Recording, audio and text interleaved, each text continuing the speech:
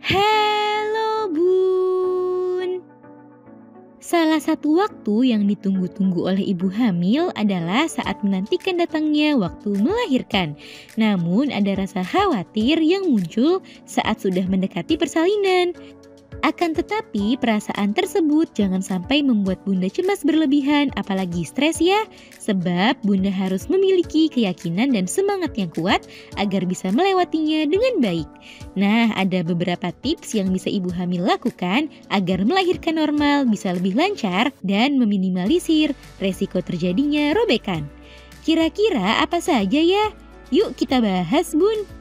Eits, sebelum dimulai, jangan lupa support channel ini dengan cara klik tombol subscribe yang ada di bawah agar dunia bunda semakin semangat menyampaikan informasi yang bermanfaat. 1. Lakukan persiapan dengan optimal. Langkah pertama yang perlu ibu hamil lakukan untuk mengurangi resiko munculnya robekan saat melahirkan adalah dengan mempersiapkan persalinan dengan baik. Untuk meningkatkan kondisi fisik jelang persalinan, Bunda bisa rutin melakukan olahraga ringan seperti berjalan kaki atau mengikuti senam ibu hamil. Rutin berolahraga bisa melancarkan sirkulasi darah sehingga jalan lahir menjadi lebih elastis dan dapat meregang lebih baik. Selain itu, konsumsi makanan sehat dan bergizi agar kebutuhan nutrisi bunda bisa terpenuhi dengan baik.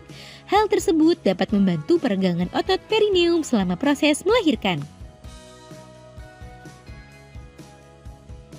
2. Pijat perineum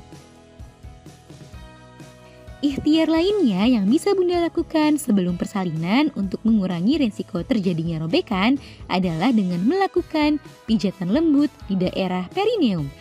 Perineum sendiri merupakan area di antara vagina dan anus yang nantinya akan mendapat tekanan cukup kuat saat melahirkan.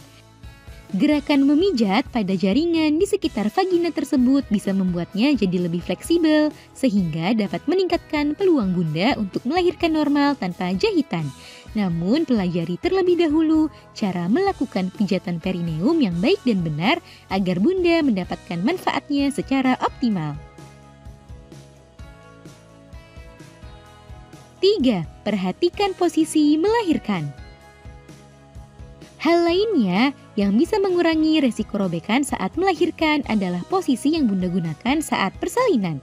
Sebab posisi saat bunda melahirkan dapat mempengaruhi tekanan yang diberikan pada area perineum.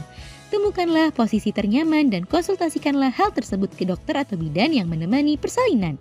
Beberapa posisi yang diyakini bisa mengurangi resiko terjadinya robekan di antaranya posisi jongkok, berlutut, atau berbaring menyamping.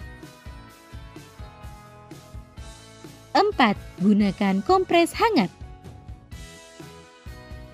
Untuk menjaga kondisi perineum tetap hangat, Bunda bisa memanfaatkan kompres air hangat yang ditempatkan di sekitar area perineum saat proses persalinan. Sensasi dan suhu hangat yang ditimbulkan tersebut bisa membuat aliran darah meningkat dan melemaskan otot-otot di sekitar perineum. Hal tersebut bisa membantu mengurangi rasa sakit yang Bunda rasakan serta meminimalisir risiko terjadinya robekan. 5. Atur nafas dan pelajari teknik mengejan. Cara lainnya yang perlu Bunda lakukan untuk meminimalisir resiko terjadinya robekan adalah dengan mengatur pernafasan dan mengetahui kapan Bunda harus mengejan. Sebab pernafasan yang baik dapat membuat Bunda menjadi lebih tenang dan menghemat tenaga yang dimiliki. Mengejanlah saat sudah diberi aba-aba oleh dokter atau bidan, yaitu di saat pembukaan sudah lengkap. Sebelum mengejan, aturlah nafas dengan baik, dan ikutilah naluri yang Bunda miliki serta instruksi yang diberikan oleh dokter. Sebab mengejan secara sembarangan di waktu yang tidak tepat bisa membuat resiko terjadinya robekan menjadi lebih besar. Nah, itu dia Bun, beberapa tips sebagai bentuk ikhtiar dalam meminimalisir terjadinya robekan saat melahirkan. Mudah-mudahan Bunda semua diberikan kelancaran, kemudahan, serta kekuatan dalam menghadapi persalinan nantinya ya. Semoga informasi ini bermanfaat, Bun. Sekian.